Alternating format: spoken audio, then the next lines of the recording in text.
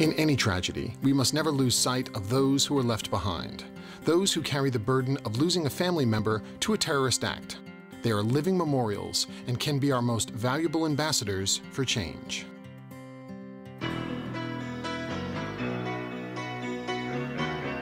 My name is Francesca Paserno, and I lost my dad on 9-11. He worked in Cantor Fitzgerald in the Twin Towers. So I've been through um, three Tuesdays Children programs. I've done um, Take Your Child to Work Day, I think three times. Tuesdays Children also works with its corporate partners on Take Your Children to Work Day. One year we went to Michael Kors, and we got to meet Michael Kors. And I actually wear a Michael Kors purse every day, so like he's my favorite designer. Uh, in past years, I've gone to the NHL headquarters, MTV headquarters, uh, the Police Special Forces unit, and uh, this year I'm going to Morgan Stanley. Well, Marshall McLennan is, insur is insurance, and well, every year for Tuesday Children, I've been going to um, sports, so I really it's going to be really interesting seeing what the um, financial parts of everything is, and I thought be, it's going to be a lot of fun.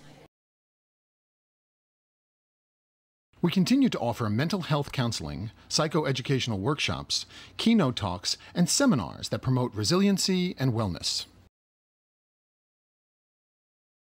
Family engagement, held in various locations throughout the tri state area, is attended by approximately 800 participants annually. Events like this are great. It takes your mind off of um, you know what what you've been through as well as makes you feel appreciated you know it makes you feel everybody coming up to you shaking your hand thanking you and uh, you know, getting to go see a, you know your favorite baseball team. Can't you can't beat it. I got to do a photo shoot with Bill O'Reilly and um, other Tuesday Children kids with my and my brother, and that was so great because I like Bill O'Reilly a lot. Actually, my family really likes him. Yeah, he's a really nice guy as well. Family engagement events enhance resilience, build relationships among Tuesday's children families, create positive new traditions, and facilitate outreach. So Helping Heals, um, we went to Austin, Texas, rebuilding houses for families in need. It feels really empowering to rebuild somebody's house because they can't afford it or they can't do it themselves or just to be able to help somebody put a roof over their own head. Tuesday's Children has many years' experience providing career guidance to the families directly impacted by the tragedy of September 11th. People say it all the time, cater your resume, make it, you know, specific to the target. Uh, the Career Resource Center is a critical part of what Tuesday's Children is all about.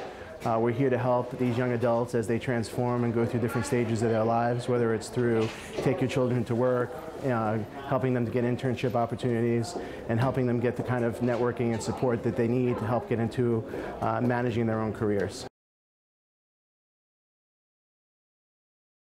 Mentoring relationships enable children to grow emotionally and socially build resilience, and develop coping skills while encouraging them to make healthy choices. The mentoring program is really nice. Uh, I, I have a mentor and he's a really great guy and without him I actually wouldn't be going to the school I'm going to now. I go to Regis High School and he went to Regis High School and I was not going to go to a pri private school at all.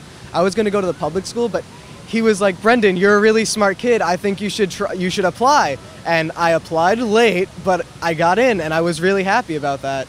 And without the mentoring program, I never would have been pushed to go to a really good private school. And that's going to really help my future.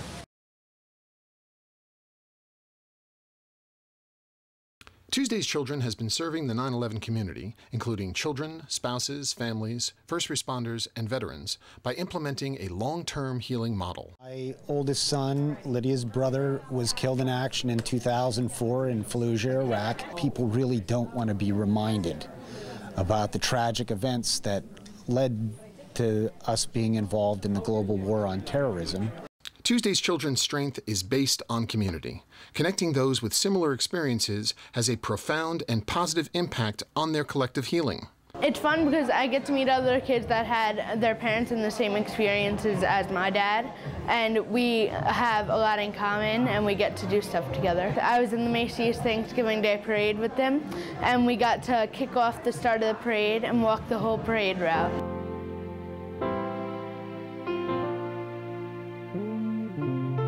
PCB is the first time I ever sang in front of a crowd.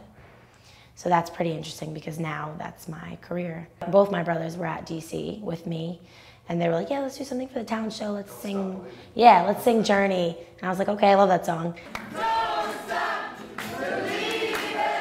And afterwards, everyone was like, wow, you have a great voice. Why don't you sing? And I was like, I don't know. And then I got hooked up with this producer, and he said, You need to write your own songs. And I was like, I don't know how. I've never written a song. And he was like, Okay, here's pen and paper. Sit down, write a song. One interesting song I have is about my dad. Then you really think about it and you go through experiences like this at Project Common Bond and you realize that you're not alone and you're not crazy. You are not defined by the things that you go through in your life. You're only defined by what you do after those things happen. Do you take it out on everybody else around you? Or do you completely change the perspective and turn it into something awesome and help others around you that don't that haven't really got it yet and haven't really figured it out?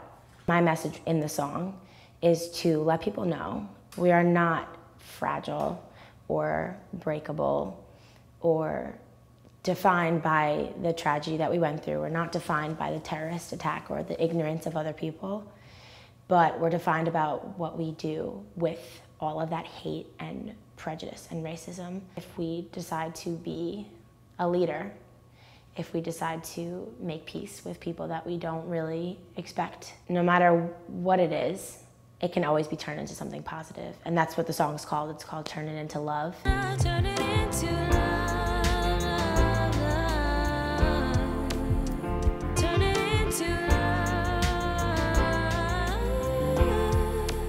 I really hope it changed somebody's uh, perspective. The whole peace movement that everybody always tries to you know, bring upon everybody else. There's so much you can do, but there's only so many people that will actually listen. It makes me feel great that there are other people out there who understand what we feel and they understand that we've gone through a loss and that they want to help.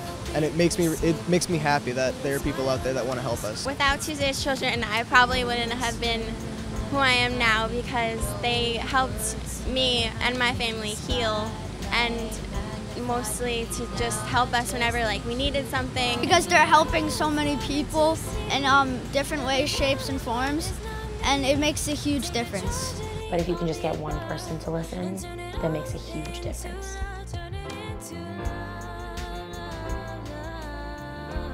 Just one person, that's all it takes. Because then that one person tells another person, hey, did you listen to this? Or did you hear that? And then that person tells a couple other people. And then it's just a chain reaction, a domino effect.